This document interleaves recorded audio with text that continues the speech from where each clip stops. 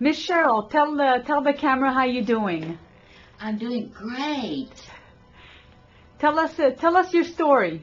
Tell me what's going on. Dr. Robentide give me this medicine, and within two hours after I took this capsule, I had no pain whatsoever. And how long have you been suffering from this? Nine months. So I couldn't believe it. So you're you're pretty happy. Oh, yes. Yes, magnificent.